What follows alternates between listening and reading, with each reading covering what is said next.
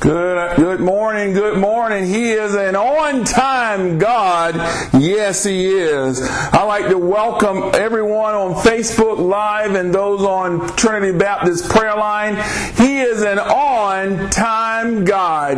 And we want to thank you for joining the service today and pray that you receive a blessing. Um, my son Joshua is going to come up and read our opening scripture and we will get started.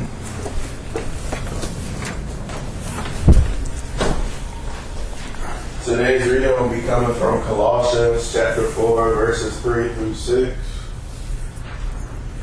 With all praying also for us that God will open unto us a door of utterance to speak the mystery of Christ, which I am also in bonds, that I may make it manifest as I ought to speak. Walk in wisdom toward them that are without, redeeming the time. Let your speech be always with grace season with salt, that you may know how ye ought to answer everything. Thank you, son. Wow. Redeeming the time. That is our title for today. I don't know about you, but we need to redeem the time that we in. Before we get started, let's go ahead and open up with the word of prayer. Our Heavenly Father is once again that we come and we thank you for this privilege and opportunity to hear from you today. My prayer is that I decrease and you increase. I pray they not see the messenger, but they see the message. For us in Christ Jesus' name we pray. Amen. When we read these scriptures from Colossians chapter 4, verse 3 to 6, we see that God is telling us that we need to redeem our time.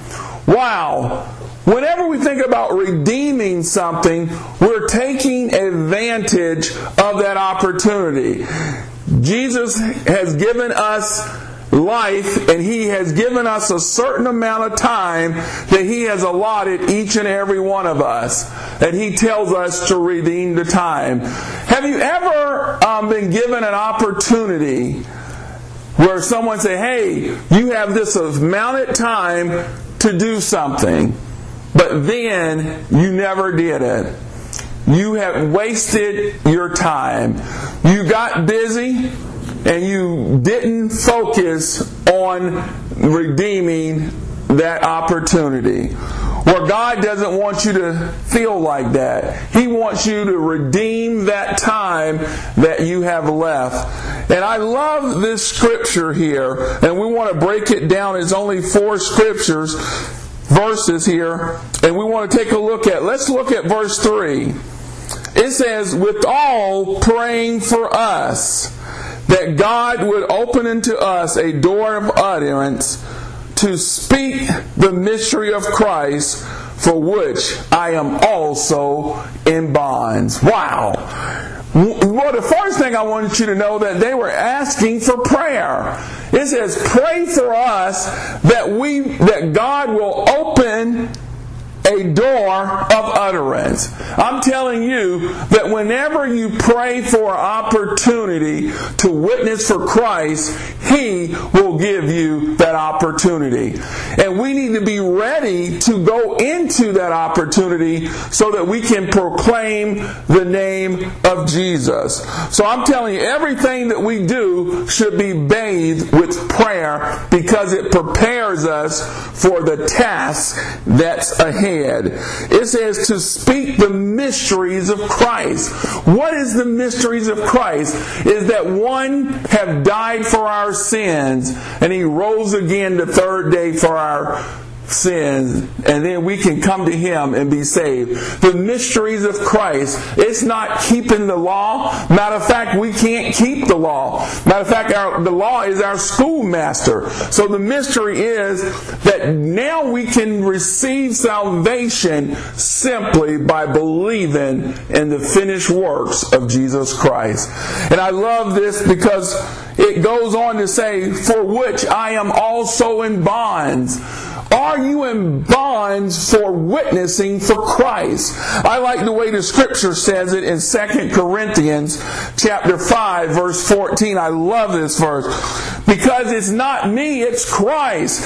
2 Corinthians 5:14 says this, "For the love of Christ constraineth us, because we thus judge that if one died for all, then we're all dead." I want to ask you the question, what is constraining you? Is it constraining you from telling people about Jesus, or is it constraining you to tell people about Christ? Well, I can tell you, the love of Christ constraineth me. What is constraining you to tell people about the mystery of Jesus Christ?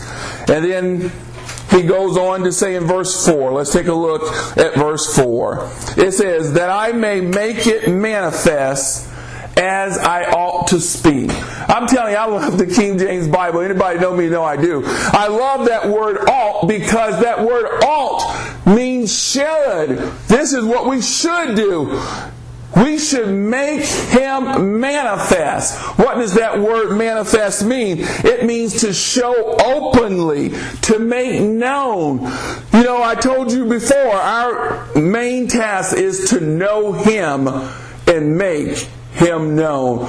Are you making Jesus manifest? Well, I can tell you, if you're not, he's not in you. Because the Bible tells us that Christ is in us, reconciling the world unto himself.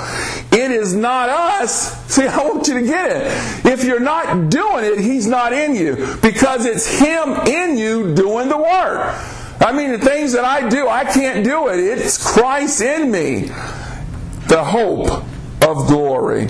So, what He is doing, we need to make Him manifest as we ought. That means we should do it. There's no doubt that we should do it. We should be a witness. You know, he says we're witnesses. If you're not a witness, that means you haven't seen it taking place.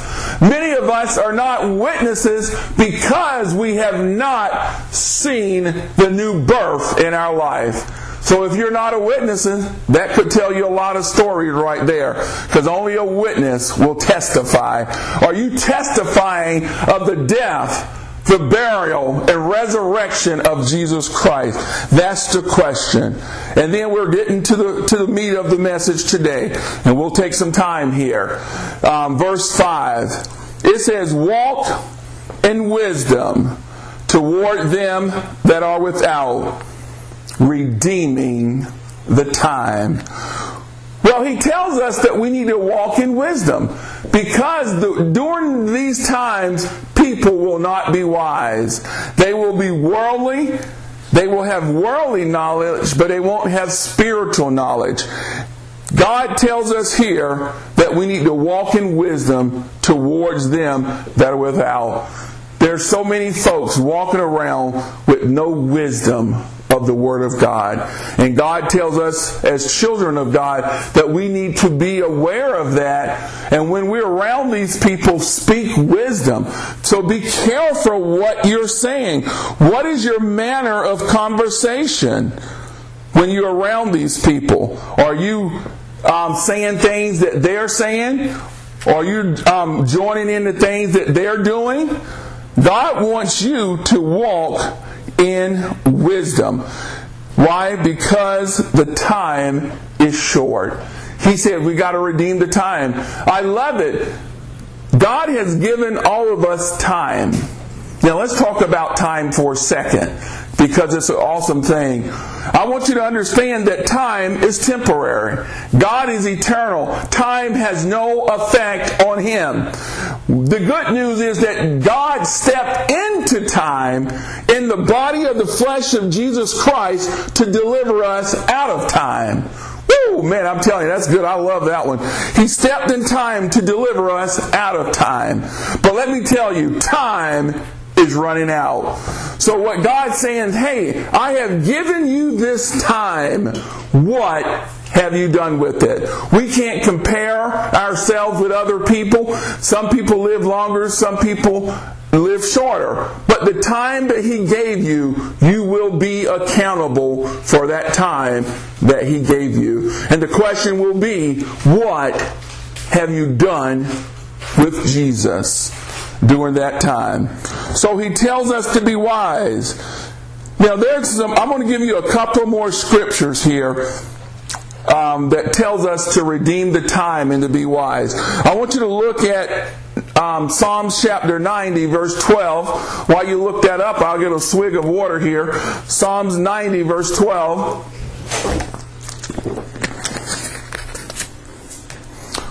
It reads this way So teach us to number our days, that we may apply our hearts unto wisdom. Folks, I tell you, we we, must understand that our days are numbered. We will die. But what we do with the time that we have here is what's going to matter. So, what we need to do is know that, hey, we're going to die and we need to prepare and live our life with wisdom. Sad to say, a lot of us aren't prepared to die. There's an adage that I heard before, and it's so true. You are not prepared to live until you are prepared to die. And this scripture here lets us know that we got to understand that we are going to leave this place one day, either by death or Jesus Christ calling us up hither to be with Him. But we need to apply our hearts unto wisdom. I want to encourage you here, if you're hearing this message, that means you're alive and you have time. God has you here for a reason and you can take advantage of your time. Boy, I thank God for that. Now let's look at Ephesians chapter 5 verse 15 to 16. Ephesians chapter 5, verse 15 to 16. It says, See then that ye walk circumspectly, not as fools, but as wise. Here we go. Redeeming the time because the days are evil. Man, wow. We need to walk with wisdom because and not as fools. I'm telling you, it is a sad thing to see a child of God walking around like a fool. And when I say that, that means you are not trusting in what God has said. And I want to, you know, don't walk around as fools. We are not going to be caught up with this hoopla and this, all this crazy news that's coming up. We believe the report of God. It says that we must be wise and not as fools. Christians, I want you to hear me well. If you believe the Bible, you understand that things have to get worse. If you believe the Bible, you must understand that the world system will fail. If you believe the Bible, you must trust that Jesus Christ will take care of you in the midst of what you're going through. We have so many stories in the Bible where He has protected us in the midst of trouble. You know, Psalm 23 tells us, Though I walk through the valley of the shadow of death, I will fear no evil, for thou art with me. We are going to have to walk through to get to, but we want to escape it and get around it. You know, I love, I love my brothers and sisters, but they are still thinking that the world system will bring them peace. Please I beg of you to understand that God's word is fulfilling right before our eyes, and there will be no peace outside of Jesus. So if we believe God's word, we must embrace for what's ahead. And I love this message, redeeming the time, as this scripture said, in Ephesians chapter 5, verse 16, because the days are evil. But I don't know about you. I'm encouraged. I'm excited because he told us that these things would be. We are so hunkered down in this world, and this world is not our home. I like what Matthew chapter 6, verse 33 says it. I hope you get it.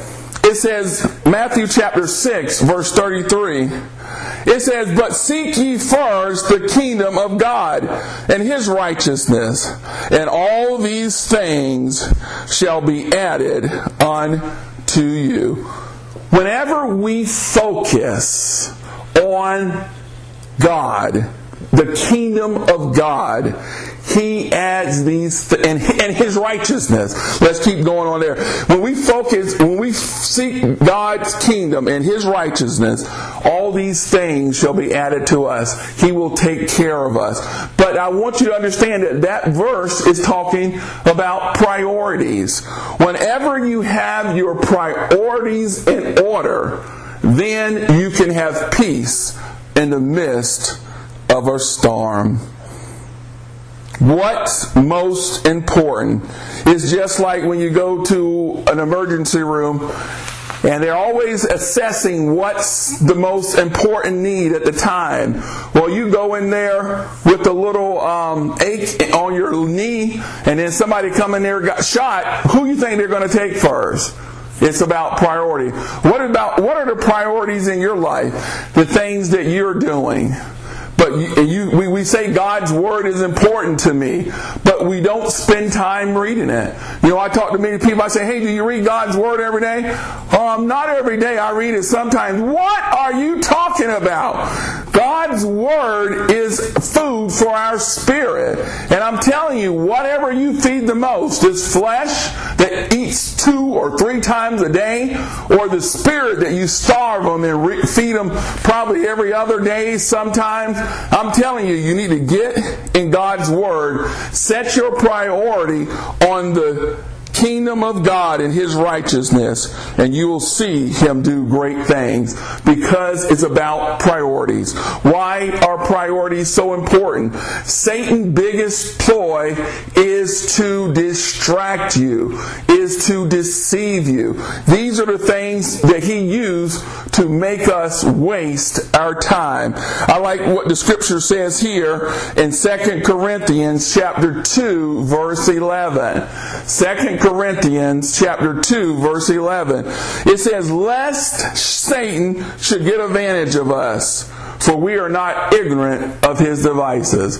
Well, I tell you, we should not be ignorant of Satan's devices. I just simply told you what he tries to do. He tries to deceive you, and then if he can't deceive you, he will distract you. And man, I'm telling you, I see so many Christian folks distracted. I mean, even when I attend the house of God, I see them on their cell phones. I see them looking out the window. I see them walking here and walking there. So distracted and not looking for Christ. You know, even when we're outside, you know, I was talking to somebody the other day. If we simply look up into heaven and see the glory of God. The Bible says the heavens declare the glory of God. But we're so busy with our heads down and distracted and not seeing the beauty of the Lord. I want you to think for a second. When you see people on their cell phones, what are they doing? Their heads down and they're distracted. Me and my son was um, driving somewhere the other day. He said, Dad, look at there, look at there. It was an old lady on the phone on the highway going 70 miles per hour with her head down looking at a cell phone. I don't know about you, but that's a scary sight. But we're distracted. There's so many accidents happening because they're distracted. And whenever you're distracted, it leads to death. I'm telling you, Christian friends, is that you need to not be ignorant of Satan devices. The Bible tells us in 1 John chapter 5 that three ways that Satan tries to attack you. The lust of the flesh, the lust of the eyes, and the pride of life. Do not be ignorant of Satan devices. So we're talking about priorities here. There's one other scripture and I want to get to here is Romans chapter 13 verses 11 through 12. Romans chapter 13 verses 11 through 12 and we're almost done. And that knowing, oh man, here we go. I mean, we should know. And that knowing the time, that now is high time, listen to this, to awake out of sleep.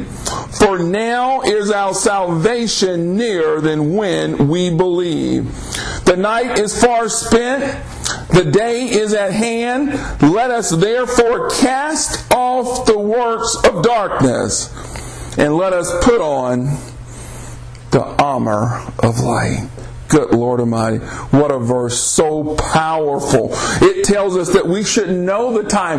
Why should we know the time? He told us the time. So if we are in God's Word, we know the time that it's high time and our salvation is nearer than when we believe. Yeah, we've been talking about Christ is coming, Christ is coming, but now it's closer than when we have believed. And I like what it says. We need to awake out of sleep. I'm telling you, Christian friends, a lot of us are still asleep. We are still asleep to the deceptions of this world. We are still asleep and not believing the full counsel of God. He tells us to awake. I'm telling you, so many of us are asleep. But when God wakes us up, we need to stay woke up. Because why? Our salvation is near. You know, there's a scripture that talks about Jesus Christ coming as a thief in the night. We love to quote that, but if you keep reading that, it comes as a thief for the night for those that are not ready. But if we are ready, we will um, not be caught as a thief in the night because Christ told us about the time that he would come. Not the exact time. We don't know the exact time. But we do know the season. And I can tell you, I believe that we are in that season. But what he tells us, verse 12, the night is far spent, the day is at hand. Let us cast off the works of darkness. What works of darkness are a child of God is doing? He says, cast off the works of darkness. It is a sad day when you call yourself a Christian and you are working the works of darkness. He says, awake and cast these things off because the time is short. Now, let's look at verse 6 back in Colossians chapter 4. This is our last verse and we're coming home. Colossians chapter 4 verse 6 says this, Let your speech be always with grace, seasoned with salt, that ye may know how you ought to answer every man. Wow. We must tell people the truth. We can't give them a half truth. A half truth presented as the whole truth is an untruth. You need to give the whole counsel of God. Yes, we need to preach the love of God, the love of Jesus, but you also need to preach about the wrath of God. It'll be a difference when you preach the whole counsel of God. Now, he says, let your speech be with grace. You don't want to beat people on the head with a hammer. I've seen some of these Christian groups just beating people on the head, saying all these bad things. But God says, let your speech be with grace. Nobody wants to come down with the hammer. God's word is tough enough. It'll work on your heart. It'll do enough. It'll do enough job on you. You don't have to put the hammer on them. What is grace? Here's what grace is. You probably heard it. Grace is God's riches at Christ's expense. You need to let them know that we have the grace of God by Jesus Christ. That Jesus Christ died for our sins and that he rose on that third day. And when he was on that cross, God pulled out the wrath of God upon Jesus, which nobody else could take. And he took that and he died, and on that third day, he rose from the grave. So God wants us to speak with grace. And then season with salt. That's the truth. Keep it real. Don't play with people. You know, so many times we are not telling people what God wants us to tell them because we're afraid of hurting their feeling. Folks, if they die without Christ, trust me, that's far worse than hurting your feeling. God wants us to tell the truth, seasoned with salt. And then I like what it says here that ye may know how you ought to answer every man. Do you know how to answer every man?